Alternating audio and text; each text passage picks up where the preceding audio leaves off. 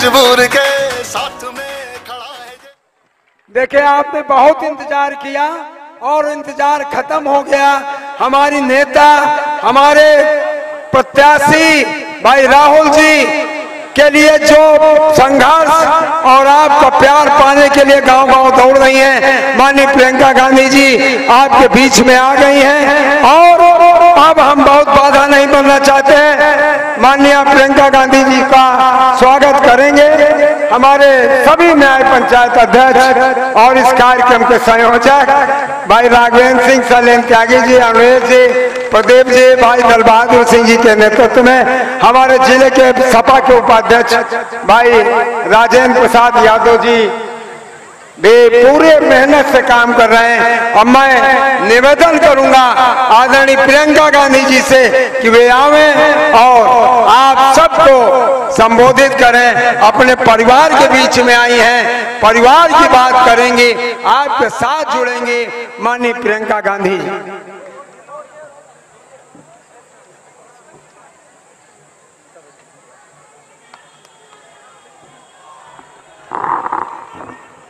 बहनों और भाइयों, बहुत समय से इंतज़ार कर रहे हैं ना?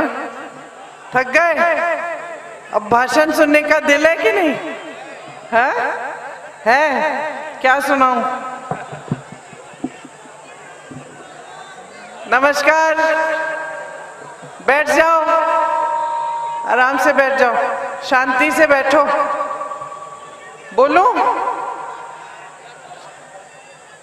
तो सबसे पहले तो मंच पर आसीन सभी नेतागण, सभी कार्यकर्तागण, सभी कांग्रेस के मेरे साथियों को इस सभा में बहुत बहुत स्वागत उनका और आपका भी बहुत स्वागत।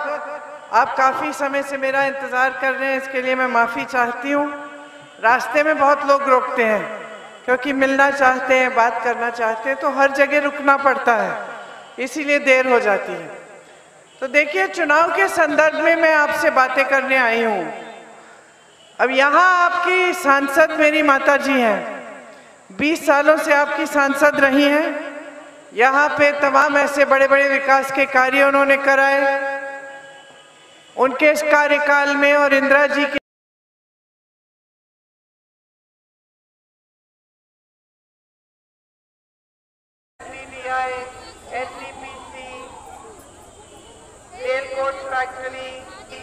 ये इंदिरा कनाल भी दादी जी के समय के बाद बनी। तो ये सारी जो जितनी भी विकास के कार्य हैं सारे यहाँ उनके कार्यकाल में हुए। तो आपने जो यहाँ से एक राजनीति शुरू की और जो यहाँ की राजनीतिक परंपरा यहाँ की राजनीतिक सभ्यता रही उसी ने एक तरह से देश को राजनीति का दिशा दिखाई। आप जानते होंगे कि 103 साल पहले यहाँ एक बड़ा आंदोलन हुआ था, आज़ादी से पहले। और उस आंदोलन में यहाँ के किसान अंग्रेज़ी साम्राज्य के खिलाफ खड़े हो गए। तो जब उस आंदोलन की चर्चा इलाहाबाद पहुँची, जहाँ मेरा परिवार रहता था, तब जवाहरलाल नेहरू जी यहाँ आए। और वो आप ही की पुकार थी। उन्होंने जाना कि यहाँ के गरीब किसान अंग्रेज़ी साम्राज्य के खिलाफ खड़े हो गए हैं कि अपनी आज़ादी के लिए आंदोलन कर रहे हैं। तभी वो यहाँ आए। तो मेरे मेरे कहने का मतलब ये है कि 103 साल पहले भी यहाँ की जनता बहुत जागरूक थी।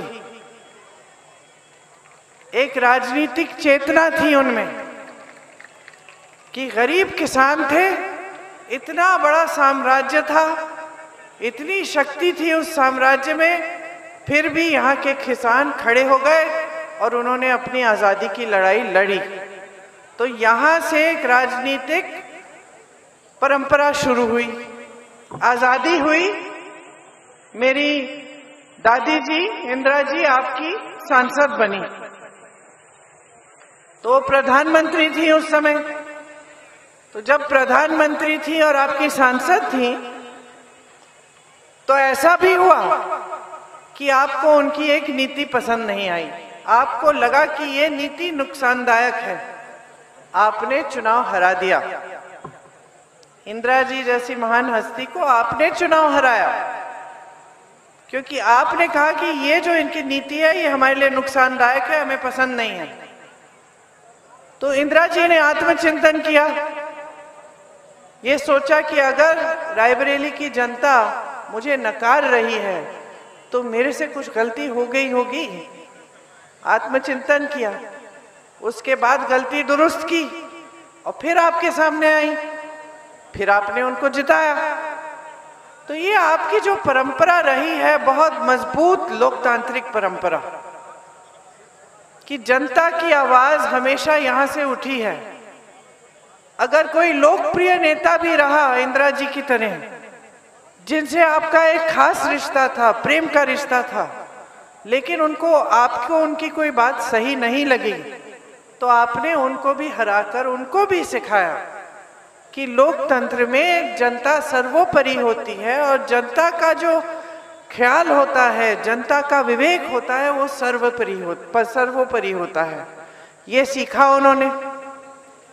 तो इस तरह से जो यहाँ पे राजनीतिक परंपरा स्थापित हुई उसकी एक अलग सभ्यता थी। उसमें जो नेता था, वो जनता के प्रति जवाबदेह होता था। चाहे वो प्रधानमंत्री हो, कोई भी हो, यहाँ आकर आपके सेवक बन के आते थे, श्रद्धा से आते थे और आपकी सेवा करते थे। वही परंपरा उस समय अमेठी रायबरेली एक क्षेत्र होता था। वही परंपरा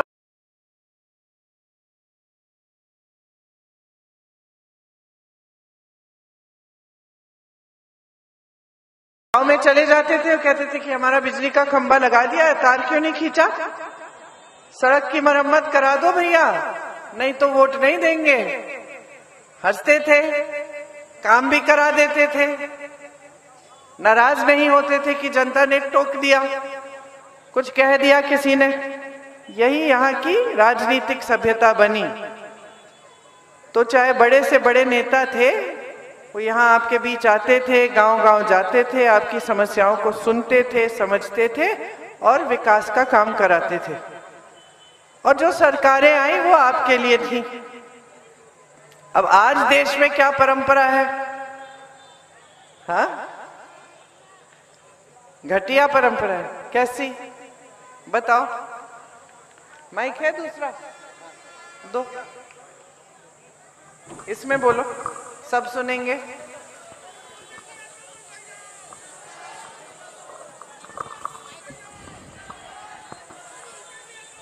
सबसे पहले मोदी ने ने गलती किया खा गए चीनी पी गए तेल। अब देखो मोदी की अत्याचार।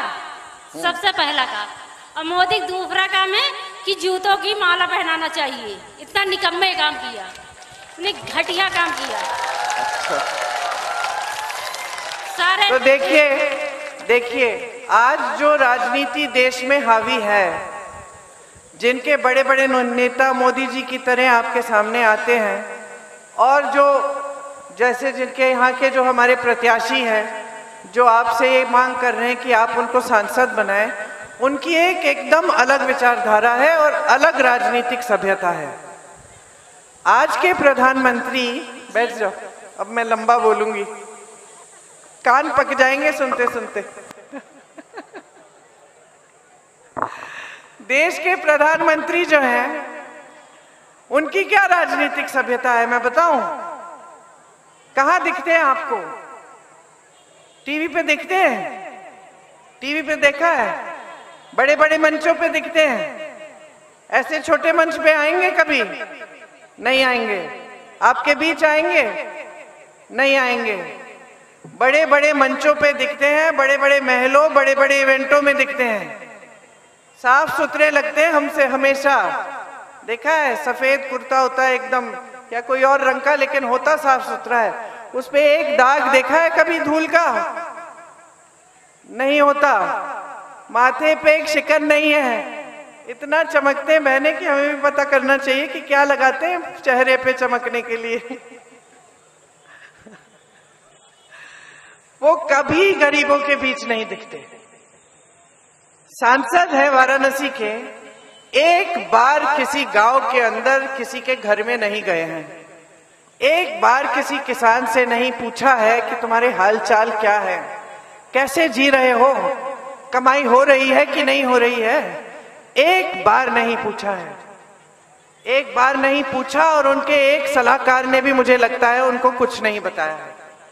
क्योंकि आज जो इस देश की जनता देख रही है, जो उसकी सच्चाई है, वो मोदी जी के किसी भी भाषण में प्रकट नहीं हो रही है।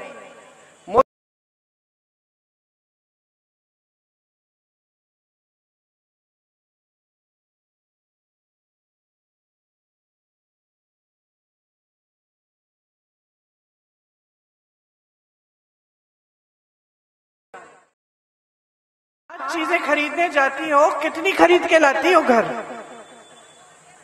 पाँच चीज़ें मन में रखती हो तो दो लाती हो। तीन चीज़ें छोड़ देती हो, सच बात है कि नहीं? सोचती हो कि चलो बाद में ले लेंगे, इतनी ज़रूरी नहीं है, अभी नहीं लेंगे। है कि नहीं? महँगाई की इतनी मार है, दाल महँगी है, सब्ज़ी महँगी है, फल महँगा है, आटा महँगा है, चीनी महँगी है, सब कुछ महँगा है। ये मोदी जी की सरकार की देन है ये महँगाई। आज नौजवान, आप इसको शिक्षित करते हो। देखिए वो जमाना चले गया है कि बच्चे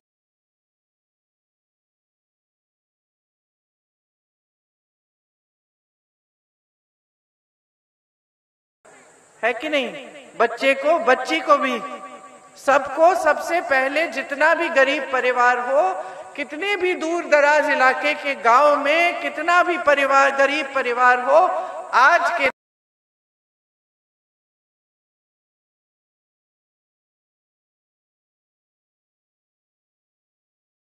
मजदूर बाप होगा, लेकिन वो मजदूर मेहनत करेगा, खून पसीना बहाएगा, अपने बच्चे को पढ़ाएगा। ये सच है कि नहीं है? सच है? सच्चाई है। तो आप अपने बच्चों को मेहनत से पढ़ाते हैं।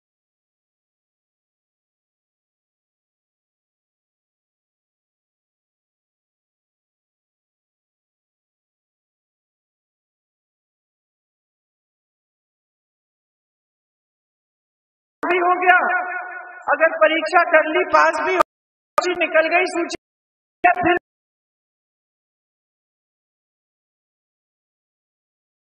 भी सारे बच्चे यूपी में कितने नौजवान हैं जो तीन चार बजे गाँव में सुबह उठकर वर्जिश करते हैं, दौड़ लगाते हैं, किस लिए? सेना में भर्ती होने के लिए। क्योंकि वो सोचते हैं कि हम सेना में भर्ती होंगे, हमारा जीवन सुरक्षित होगा माँ बाप का देखभाल होगा, और फिर ये भी भावना होती है कि देश के लिए हम कुछ करेंगे, देश की रक्षा करेंगे।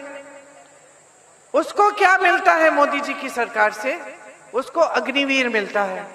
आपको पेपर लीक मिलता है, उसको अग्निवीर मिलता है। मोदी जी की सरकार कहती है, हम नई स्कीम लाए हैं, आपके लिए चार साल के लिए भर्ती हो जाओ, पाँचवें साल वापस आ जाओ, फिर से नौकरी ढूंढो। और तुम शहीद हो गए। इस देश की रक्षा करते करते तो शहीद का दर्जा भी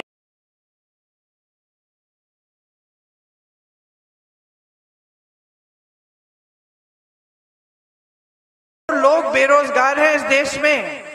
शिक्षित नौजवान हैं, क्योंकि आप सबने मेहनत करके शिक्षित किया है, लेकिन बेरोजगार हैं। बीएससी पास है बीटेक पास है, आगे अंधेरा दिख रहा है, भविष्य में कुछ नहीं दिख रहा। आज देश में 35 सालों में सबसे ज़्यादा बेरोजगारी आज है। ये है मोदी जी का राज। मोदी जी का तोहफा आपके लिए। किसान खेती से कमा नहीं पा रहा है, ऊपर से टैक्स दे रहा है हर सामान के लिए। जीएसटी लग रही है। खेतों में नुकसान होता है, भुगतान नहीं मिलता। कर्ज लेता है, कर्ज उठाता है अपने बच्चे को शिक्षित करना, करने के लिए। बेटी की शादी होती है, कर नहीं पाता, बगैर कर्ज उठाए। क्या मिलता है उसको? मोदी जी कर्ज माफ़ करते हैं।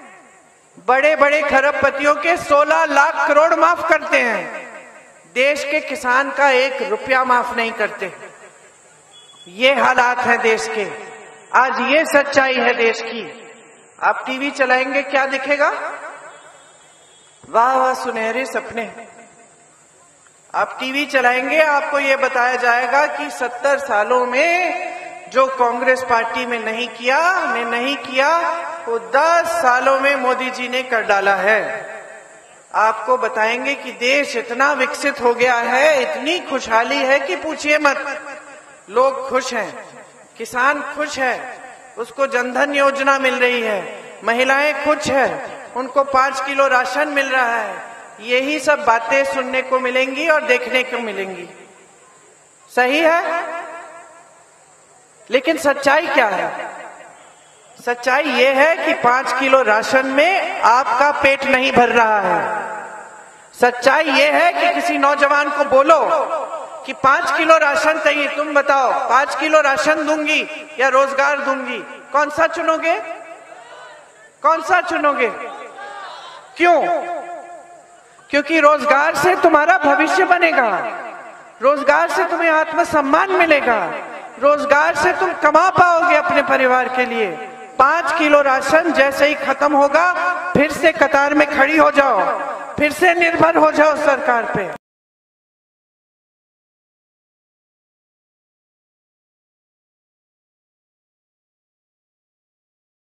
है।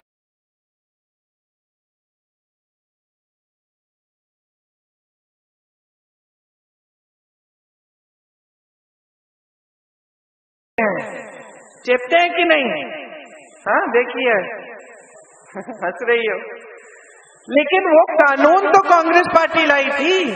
वो भोजन का अधिकार का कानून था। उसके तहत कोई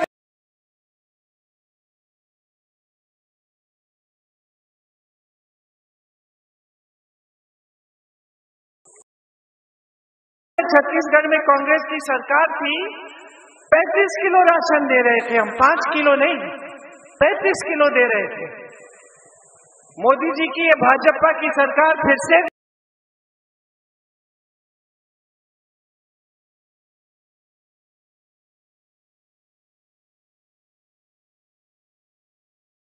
ये आपका अधिकार है। लेकिन भाई, राशन के साथ साथ कोई और नीति भी तो बनाओ, रोज़गार दिलवाओ। खेती किसानी इसमें इतनी मेहनत हो रही है, वहाँ से कमाई के साधन दो। मजदूरों के लिए कुछ नीति बनाओ, मिडिल क्लास के लिए नीति बनाओ। आप हर स्तर पे देखें तो इनकी ऐसी नीतियाँ हैं कि गरीब मिडिल क्लास की कमर तोड़ी जाए और बड़े बड़े खरबपति जो हैं, वो भी सारे नहीं। कुछ गिने चुने खरबपति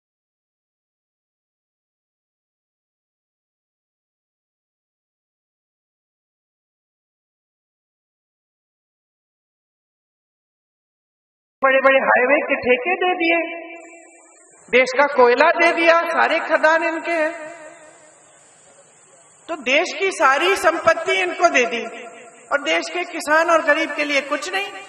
ये तो सही बात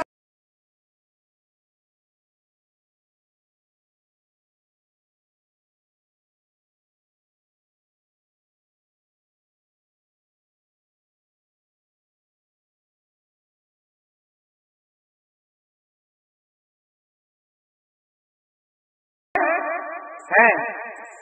आवारा पशु खेत चरते हैं रात को। क्या करते हो रात को?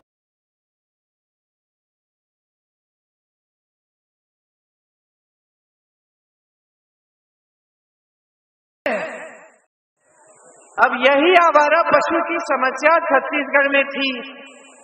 हमारी सरकार ने क्या किया?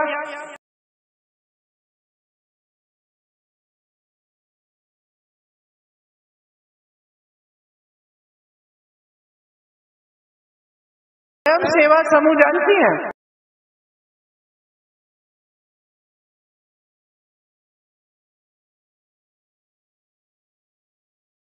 से जो दूध मिलता उस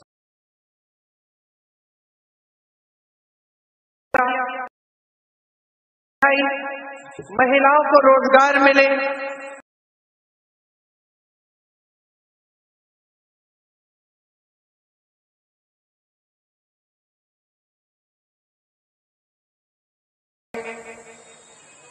तो गोबर खरीदने की बात जब जनता ने सुनी तो उन्होंने सोचा, फिर हमारा क्या नुकसान है? हम रखे ही लेते एक दो जानवर। उससे हमारी आमदनी बन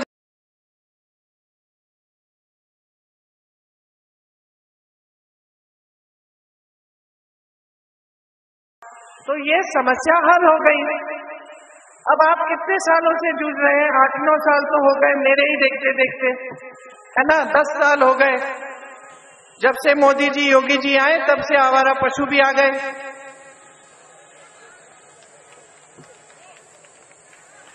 आपकी समस्या तो बढ़ती चली गई, है ना?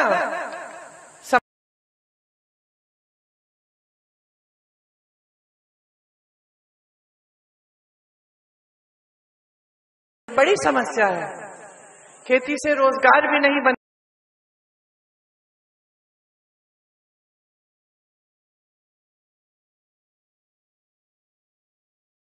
समस्या है। और इन समस्याओं का हल करना सरकार का कर्तव्य होता है। राजस्थान में हमारी सरकार थी। हम एक स्कीम लाए, जिससे 25 लाख का स्वास्थ्य बीमा आपको मिल रहा था। मतलब 25 लाख रुपए में जितनी भी स्वास्थ्य सुविधाएँ थी, वो मुफ़्त थी। अगर आपको एक बड़ा ऑपरेशन करना पड़ता था, या कैंसर का इलाज करना था तो 25 लाख तक आपको एक पैसा नहीं देना पड़ता था, सरकार भर रही थी। ये कांग्रेस ने नीति बनाई राजस्थान में। अब भाजपा की सरकार आई है, उस 25 लाख को कम करके 5 लाख कर दिया।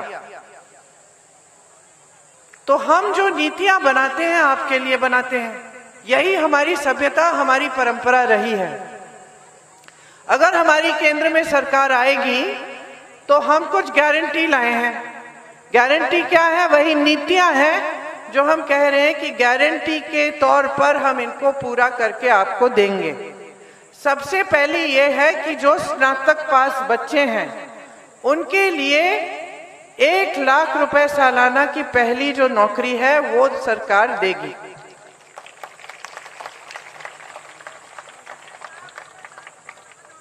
आप नौजवानों के लिए पाँच हज़ार करोड़ रुपए का फंड मिलेगा आपको। ताकि ये फंड आपको नहीं मिलेगा मतलब एक फंड बनेगा जिसमें से अगर आप कोई छोटा कारोबार शुरू करना चाहते हैं, उसके लिए आप थोड़े पैसे चाहते हैं तो उस फंड से आपको पैसे दिए जाएँगे। पेपर लीक के खिलाफ सख्त से सख्त कानून बनेगा। ताकि पेपर लीक होगा तो सख्त कार्रवाई होगी, ताकि आपके भविष्य मज़बूत बन पाए। खेती किसानी के सारे सामानों पे जीएसटी आज लगी हुई है, जिसकी वजह से सारे सामान महँगे हैं। वो जीएसटी वो टैक्स हटाई जाएगी। खेती के सामानों पे वो टैक्स जीएसटी नहीं लगेगी। सामान सस्ते हो जाएँगे। आज आपको उपज का दाम नहीं मिलता। हमने कानून, हमने तय किया है कि हम कानून बनाएँगे कि आपको सही दाम मिलना चाहिए उपज के लिए। जो न्यूनतम समर्थन मूल्य है, वो कानूनी तौर पर आपको मिलना चाहिए। आप कर्ज लेते हैं, आपका कर्ज माफ़ नहीं होता। हम कर्ज माफ़ी के लिए एक स्थायी आयोग बनाएँगे, जहाँ आप जा सकते हैं, अपने कर्ज को माफ़ करा सकते हैं। उसके लिए आपको सुविधा मिलेगी। आज जब खेतों में नुकसान होता है तो भुगतान नहीं मिलता। और मिलता भी है तो थोड़ा थोड़ा मिलता है, समय पे नहीं मिलता। तो हम एक कानून बनाएँगे जिसके ज़रिए आपका जब नुकसान होगा, खेतों का एक महीने में आपका पूरा भुगतान होगा। बहने, आपको मालूम है कि जहाँ कर्नाटका, तेलंगाना में हमारी सरकार है, वहाँ जो गरीब परिवार है, उसमें जो सबसे बड़ी महिला है, उसके खाते में दो हज़ार रुपए हर महीने डाला जा रहे, डाले जा रहे हैं, सरकार डाल रही है। हम चाहते हैं कि देश भर में जितने गरीब परिवार हैं, उनमें सबसे बड़ी जो महिला है, उसके खाते में आठ हज़ार पाँच सौ रुपए हर महीने मतलब कुल मिलाकर सालाना एक लाख रुपए सरकार डालेगी। इससे आपको सुविधा होगी। ये जो महँगाई का बोझ है ना जो आप उठा रहे हो, इससे राहत मिलेगी। आशा बहुएँ, आंगनवाड़ी की बहनें और मिड डे मील की जो बहनें हैं, उनके लिए हमने कहा है कि हम जो केंद्र से राशि भेजते हैं, उसका दुगना भेजेंगे ताकि आपके मानदेय बढ़ जाएँगे। सरकारी नौकरियों में 50 प्रतिशत की भागीदारी आपकी होगी। मतलब कि जो पहले के आरक्षण हैं ओबीसी एससी जितने भी आरक्षण हैं, वो रहेंगे। लेकिन उनमें ओबीसी महिलाओं को, एससी महिलाओं को, उन आरक्षण के तहत आधे आधे सरकारी नौकरियाँ, आधी नौकरियाँ महिलाओं को मिलेंगी। ये हमने तय किया है। आज श्रमिक का शोषण होता है। हम तय कर रहे हैं कि जहाँ भी आप मजदूरी करें, पूरे देश भर में न्यूनतम मजदूरी 400 रुपए की होगी और हम शहरी मनरेगा लाएँगे। जिस तरह से गाँव में आपको मनरेगा से 100 दिन की मजदूरी मिलती है, उस तरह से शहरों में भी हम लाएँगे।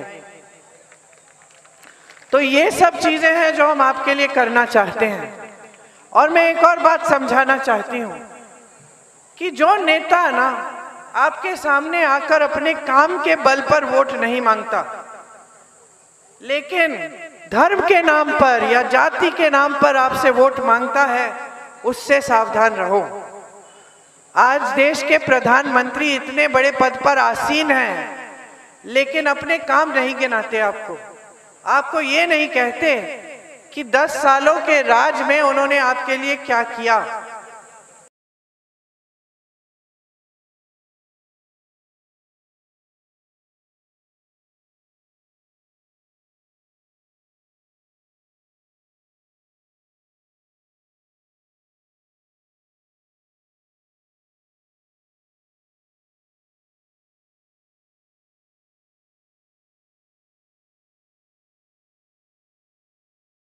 करने के लिए।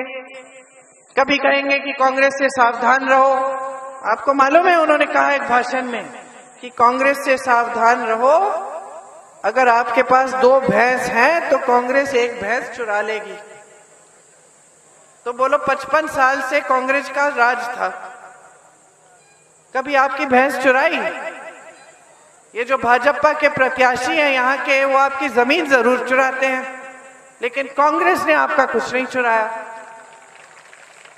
कांग्रेस ने हमेशा आपको मज़बूत करने का काम किया। पंचायती राज राय प्रधानों को मज़बूत करने के लिए। ये आपके प्रत्याशी भाजपा वाले क्या करते हैं? आपकी जमीनें छीनते हैं, प्रधानों को प्रताड़ित करते हैं, कोटेदारों को प्रताड़ित करते हैं। प्रधानों को एक स्वतंत्र निर्णय नहीं लेने देते। सिर्फ़ आतंक फैलाते हैं पूरे क्षेत्र में। तो चाहे मोदी जी हो, चाहे उनके प्रत्याशी हो यहाँ के, उनकी राजनीतिक सभ्यता ये नहीं है कि आपके प्रति कोई जवाबदेही होनी चाहिए, कि आपकी, के सेवक हैं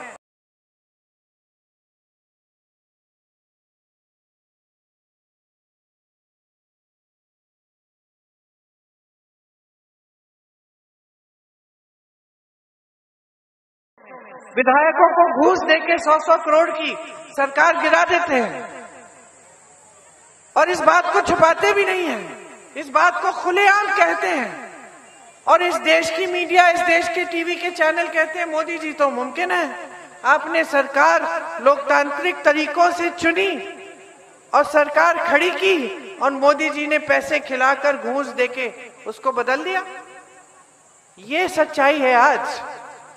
तो आप इन चीज़ों को समझिए। अपने जीवन में जो दिख रहा है, उसके आधार पर अपना वोट दीजिए। आपने देखा है यहाँ का विकास हुआ है। आपने देखा है कि आपके सांसद आपके लिए निष्ठा से काम करते हैं। अब उनके बेटे आपके लिए आए हैं, प्रत्याशी बनकर। राहुल जी ने खूब लंबी यात्रा की पैदल, कन्याकुमारी से कश्मीर चले। चार हज़ार किलोमीटर चले, सिर्फ़ आपकी बात सुनने के लिए। सिर्फ़ क्योंकि उनके दिल में आपके लिए श्रद्धा है। आप उनको विजयी बनाएँगे।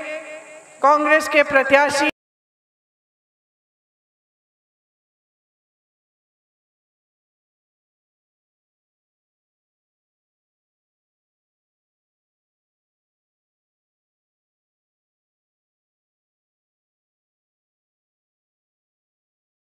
की राजनीति आपके प्रति श्रद्धा दिखाने वाली राजनीति, जिसकी नीतियाँ आपकी भलाई के लिए होंगी।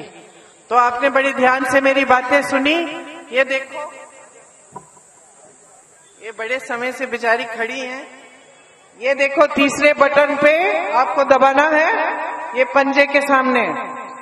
इसमें आवाज़ आएगी एक, जब आप बटन दबाओगे। आवाज़ की सुनो पूरी तरह से, उसके बाद एक पर्चा निकलेगा। पर्चे पे भी पंजा होना चाहिए। अगर आपने पंजा दबाया और पर्चे पे कुछ और है तो आप कांग्रेस के कार्यकर्ताओं को ज़रूर बताओ, बूथ के बाहर खड़े रहते हैं और बताओ कि हमने तो पंजा दबाया, लेकिन वो पर्चा कोई और आया है।